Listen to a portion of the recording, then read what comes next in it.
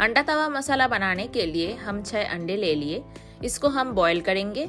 और मसाला हमारा कुछ ऐसा है, इसमें तीन हरी मिर्च है, एक इंच अदरक का टुकड़ा है, दस बारह लहसुन है, एक हरी मिर्च हमने फाइन चॉप करके रखे है one tablespoon coriander powder one teaspoon Kashmiri red chilli powder one teaspoon turmeric powder one tablespoon normal dry red chilli powder दो बड़े साइज़ ऑनियन को फाइन चॉप करके रखे हैं सॉल्ट अपने स्वाद के अनुसार।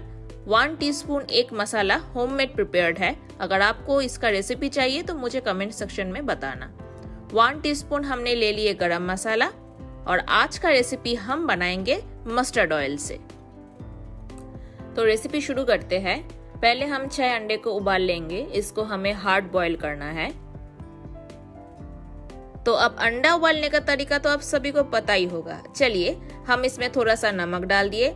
नमक डालने से हमारा पानी का जो बॉइलिंग टेम्परेचर वो थोड़ा बढ़ जाता है। इससे अंडा प्रॉपर तरीके से हार्ड बॉइल्ड होता है और पील करने के टाइम ये बहुत ही हेल्प होता है।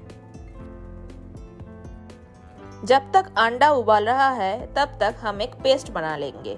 एक ग्राइंडिंग जार में तीन हरी मिर्च, एक इंच अदरक, दस बारह लहसुन और हैंडफुल फ्रेश कोरिएंडर डाल के एक पेस्ट तैयार कर लेंगे।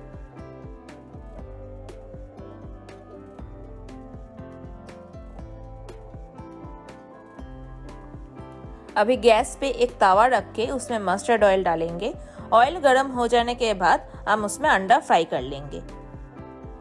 ऑयल हमारा गर्म हो गया। अभी हम इसमें थोड़ी नमक डालेंगे, थोड़ी हल्दी डालेंगे और थोड़ा सा रेड चिली पाउडर डालेंगे और हमारा चॉप्ड किया हुआ हरी मिर्च डाल देंगे। अभी इसमें हम हमारा बॉइल्ड अंडा सबको हम बीच से कट करके रखे हैं, सबको हम फ्राई करेंगे। बोथ साइड एक एक मिनट करके हम फ्राई करेंगे।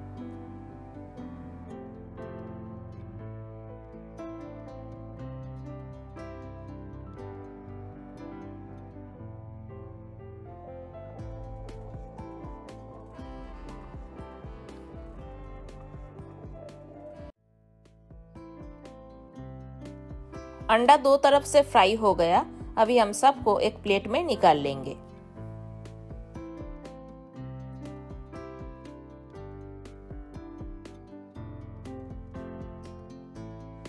अब दूसरा स्टेप शुरू करेंगे। वो सेम तवा में हमारा चॉप्ड प्याज को डाल देंगे और उसको हम ट्रांसलूसेंट होने तक फ्राई करेंगे। प्याज फ्राई हो गया। अभी हम पहले जो पेस्ट तैयार करके रखे थे, वो डाल देंगे।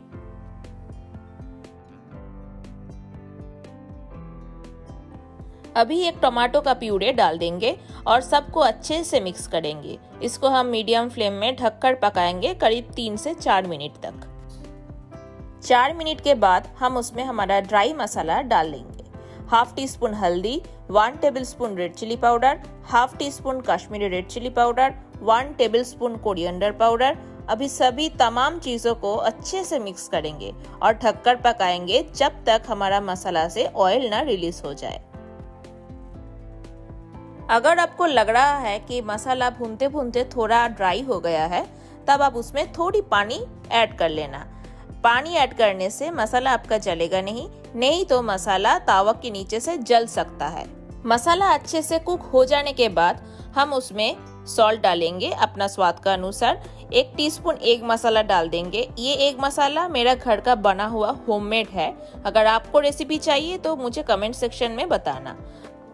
अभी हम इसमें गरम मसाला डालेंगे और अच्छे से मिक्स करेंगे करीब एक दो मिनट तक। दो मिनट के बाद हम हमारा फ्राइड अंडा डाल देंगे एक एक करके और ढक के बोथ साइड मसाला के साथ पकाएँगे।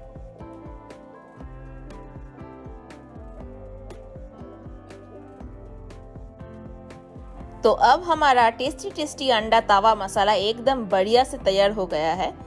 अब देख ही सकते हैं, मुझे कुछ बताने की भी ज़रूरत नहीं है। कितना ज़बरदस्त बना है, बस कुछ ही मिनटों में। अब हम गार्निश कर लेते हैं। मैं इसके ऊपर थोड़ा गरम मसाला और फ्रेश कोरिएंडर से गार्निश किया है। और थोड़ा सा कसूरी मेथी भी मैंने ऊपर से डाल दिया। कसूरी मेथी डालने से इसका टेस्ट और भी मज़ेदार और खतरनाक आएगा। आप खाएँगे तो फिदा हो जाएँगे। ये तावा अंडा मसाला इतना टेम्पटिंग बने हैं कि मैं क्या बताऊँ। मुझे कुछ बताने की भी ज़रूरत नहीं, आप खुद ही देख सकते हैं। अभी डिश प्लेट आउट कर लेते हैं और देखिए कितना ब्यूटीफुल बना है। मुझे कुछ कहने की भी ज़रूरत नहीं है। घर में ज़रूर बनाना और मुझे आपका फीडबैक यूट्यूब कमेंट बॉक्स में ज़रूर शेयर करना। आप मुझे इंस्टाग्राम अकाउंट में भी टैग कर सकते हैं। तो आज के लिए इतना ही। मिलेंगे फिर कहीं ना कहीं, कभी ना कभी, जरा दूर सही, जरा देर सही। लेकिन मिलेंगे ज़रूर।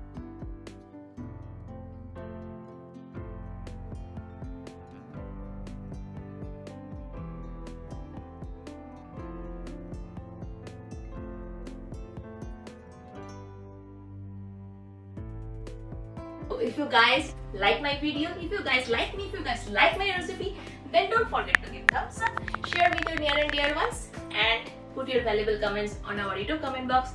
Okay, see you next time.